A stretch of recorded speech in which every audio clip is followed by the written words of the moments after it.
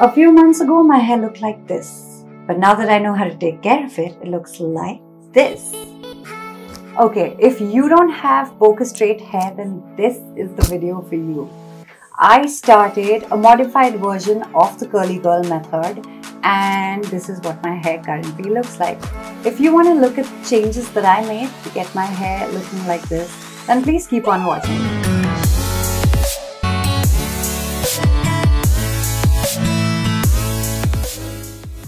Okay, so the first thing that I do is I use a shampoo that does not have sulfates, silicones or parabens and of course which is cruelty free because that matters to me a lot okay so I will shampoo my hair with the Wow Activated Charcoal and Keratin Shampoo. I will condition my hair with the Argan Oil Shampoo, uh, conditioner, sorry. This is by Wow. And for hair gel, you can use the Wow Aloe Vera Gel. This doesn't give you that great hold.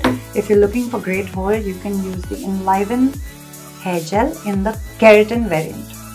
So yeah, I'll wash my hair and when I wash my hair, I do not go upside down and you know sort of wash my hair like that. I just wash my hair standing up because it doesn't have to be that difficult. You don't have to break your back to wash your hair. That's that's that's what I learned very early on in the process. So yeah, I'll wash my hair and then I'll condition. Once I condition my hair with the conditioner on, I'm going to start combing it out and when I comb it out I start from the bottom and I work my way to the top till my hair is knot free. So once I do that I'm going to wash my conditioner off and I'm going to come back and I'm going to share the rest of the steps. Okay so I've hopped into the shower. I'm to get my hair wet. I'm to take some time to make sure that it is sopping wet. Next, as you will see, I'll start with shampoo and for shampoo, I'll be using the Wow Activated Charcoal and Keratin Shampoo, which means protein. Okay, I'm gonna focus the shampoo on my scalp and scalp alone. And I'm to massage it in, really getting in there, because this promotes hair growth. Do not underestimate this step. Next up, scalp massaging brush thingy. I'm gonna scrub, massage, and brush out my scalp, getting rid of any dirt, debris, or buildup. Wash the shampoo off. Can you see that shampoo traveling down the shaft of my hair? Which means I didn't need to put shampoo on all of my hair because it would just dry my hair out and I don't think I'm about that life. So next up, my little kittens, I'm gonna use the Wow Moroccan Argan Hair Oil Conditioner. What a tongue twister. Focus this on the mid-length to the bottoms. Using praying hands. Whatever I have left on my hands will go on my roots. Now with a wide tooth comb, I'm going to start detangling my hair. I'll start at the bottom and work my way up to the top. You can lift your hair a little bit so that you have no pulling and tugging at the crown. Patience, ladies, patience. This is gonna take some time, but you don't wanna hurry it up. If you hurry up, you're just gonna cause hair breakage, and nobody wants that, right? So it's very normal to lose hair while you're detangling. Side note, the average person loses 150 strands of hair a day. And you're gonna wash and detangle your hair what, once a week? Multiply 150 by 7, guys. Yikes. If at any point you feel like you're having trouble detangling, don't add more conditioner, just add more water. Anyway, getting back to the point, comb your hair till it is nicely detangled and do not freak out if you lose hair, okay? Just take your time, be patient, and comb it out till it's completely knot free. Next, as you'll see, I'm gonna do something that is called squish to condish. So all you're gonna do is squeeze your hair up to the top and you're looking for that really nice squishy sound. That's when you know you're doing it correctly. So yes, Squeeze your hair in an upward motion and this is going to encourage the curls to form. Lastly, you're going to want to wash that conditioner off. Signing off, back to you Awkward Michelle. Okay, so I'm out of the shower and my hair is soaking wet. Haven't done anything. Uh, I haven't used towel. A towel is a big no-no if you have curly hair.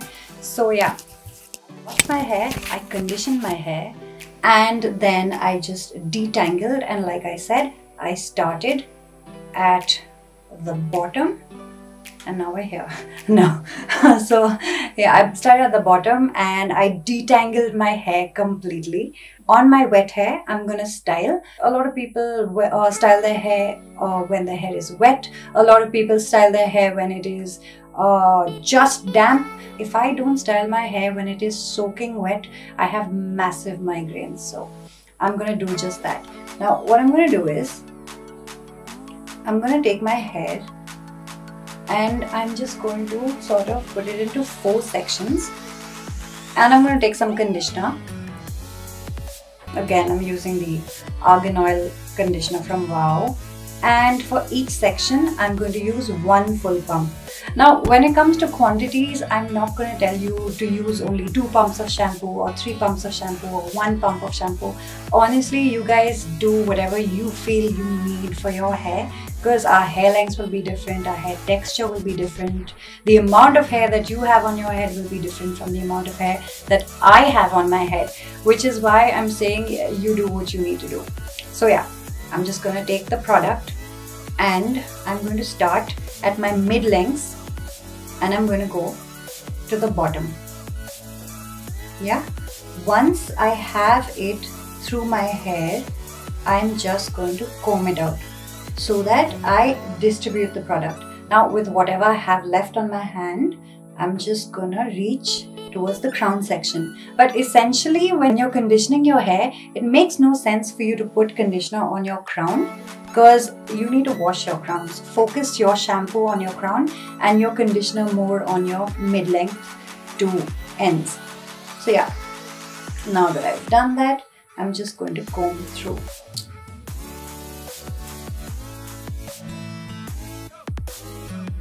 And I feel like I have enough product in my hair now. On this section at least. So I'll go to the back section. I'll take another pump a full pump of the product. And again starting from my mid lengths. I'm going to go down and really concentrate the product here. Whatever I have left on my hand. I'm gonna put it through my hair. And then once again I'm going to comb my hair so that I distribute the product evenly. I'm sorry if the audio is not that great because I have my mic a little far away from me because obviously my hair is wet. I could pin it on to myself. Yeah. I'm just going to repeat the same thing on this side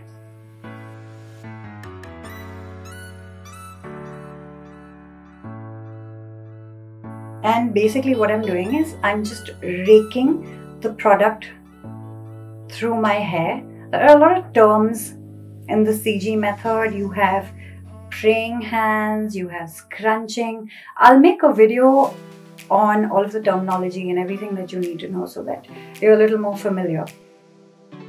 Now raking is also good because essentially you're causing curl clumps as in the way in which your hair clumps together in the curl or in the spiral whatever you have or in the wave let's not forget wavy girls out there because I'm also a wavy girl so yeah and another thing that I want to say is I do not style my hair without a part because generally this is the part that I maintain. So I like to I like to style my hair on a part. I'm I, I don't sort of you know like style it backwards. I don't think that makes any difference to me because I'm not looking so much for volume, I'm looking for definition. In the beginning, you're going to look for definition, and once your hair is nice and trained and it does what it what you need it to do, you're probably going to focus on volume. But initially, when you're starting off, this is totally fine. In fact, I do as much as possible so that I'm avoiding my back pains. So at the end, I'll flip my hair over, but that's the only time when I'll do that.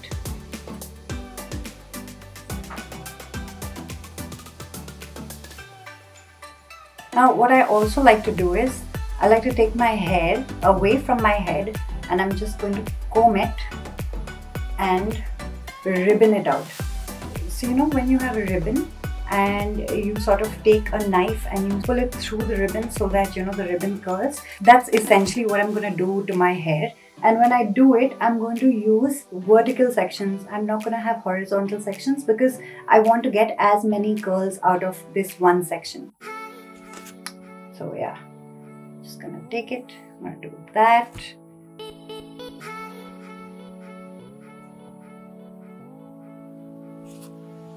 Again a vertical section.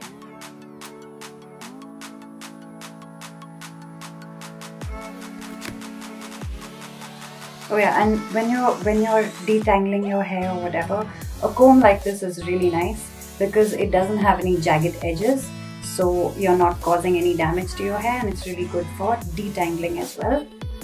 I bought this from Spencer's if I can find a link I think this is from Roots if I'm not mistaken. If I find a link I'll put it down in the bottom bar. So yeah I'll just do that on my entire head and be back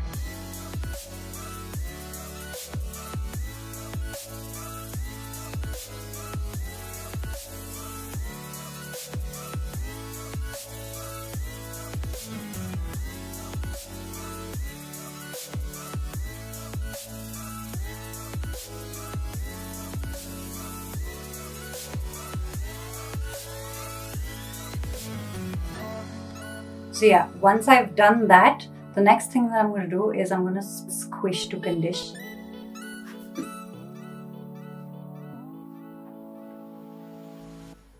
I'm just doing this to encourage my hair to take the form of a wave. This is the only stage when I sort of tilt my hair. The rest of the entire process I do just standing up.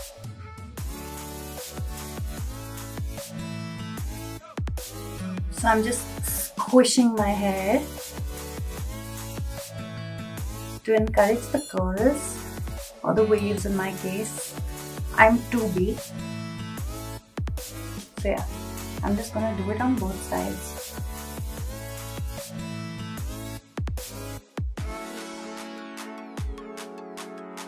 Now remember when you're doing this, if you see frizz when your hair is wet then you're going to see frizz. When it is dry and we don't want frizz. Essentially what i'll say to you is embrace your frizz. I don't think it's a big deal. Nobody has perfect frizz free hair. So yeah in the beginning don't worry about the frizz. The frizz is just some hair waiting to find its curl. So the last step the very last step i'm gonna i'm gonna look at you know if everything is okay everything is good I don't have any frizz on top. If I have any flyaways, I'll just sort of put them in place. And the last thing that I'll do is I'll take the gel and what I'm going to do is I'm just going to glaze it through my hair we call it the praying hands. So in the beginning, when I was looking up the curly girl method and watching videos and everything, I always thought they meant preying hands. So I assumed, you know, like, how do you catch your prey? I'm guessing, you know, your claws are out. But no, it's praying hands. Anyway, whatever. I'm going to take a gel. Now, I'm not going to tell you how much gel to use because your hair is different from mine.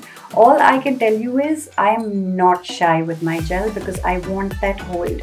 And the more gel I put, the more my hair sort of stays in place while it's drying. So, uh, I use a lot of it, like a lot of it. This is the only time during the entire method. When I'm going to take my hair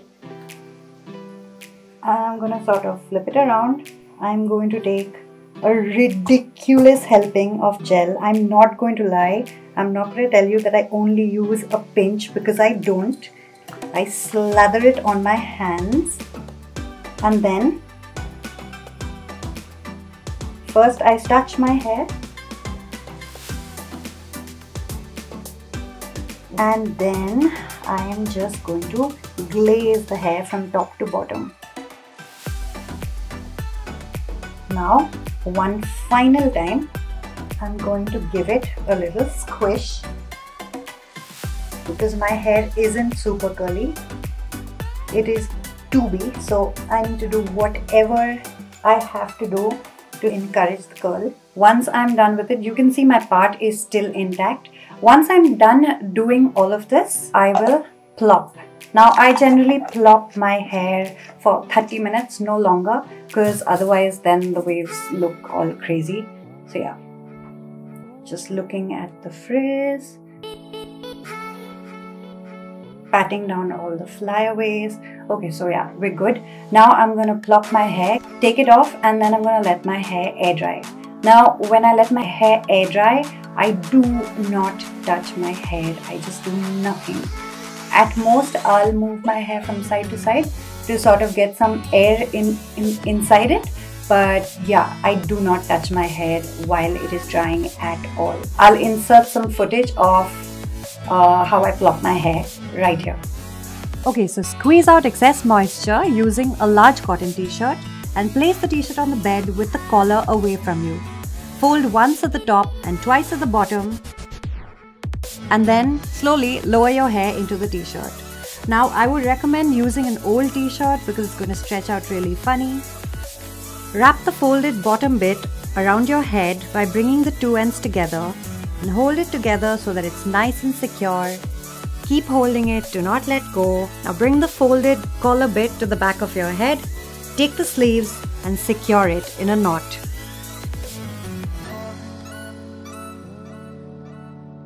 Now adjust the front bit so that there's no pulling and tugging. You can double knot it if you have any hangy bits. Make sure that it's not too tight. And lastly, serve that kitty cat realness.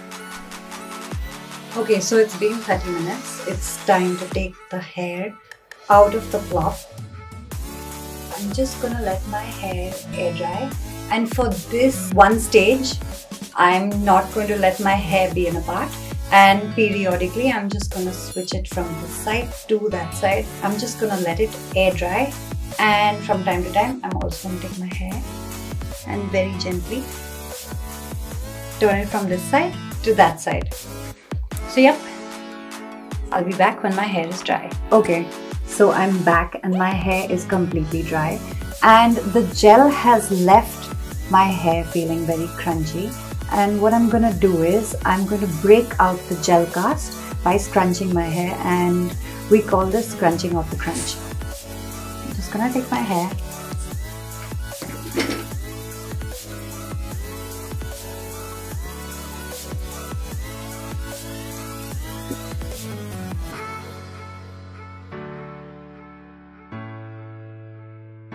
I'm gonna keep doing this till my hair feels nice and soft.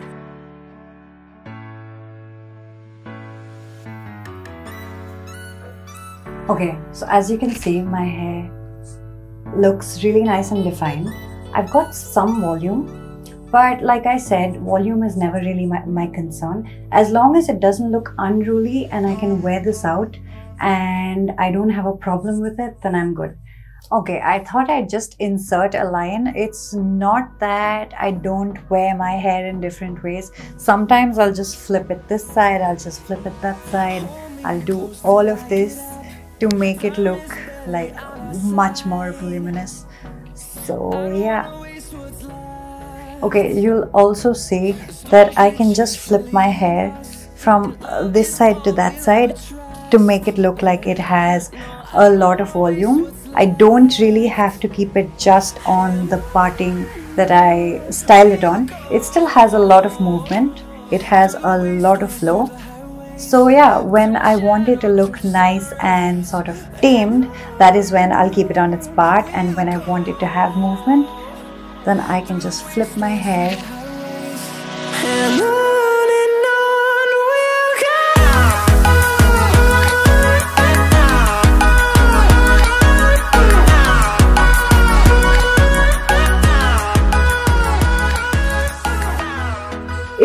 enjoyed this video, then please consider subscribing to see more of me. Consider liking the video if you got some value from it. Leave me a comment if you want. Share it with your friends. My name is Michelle and I'll see you in the next one.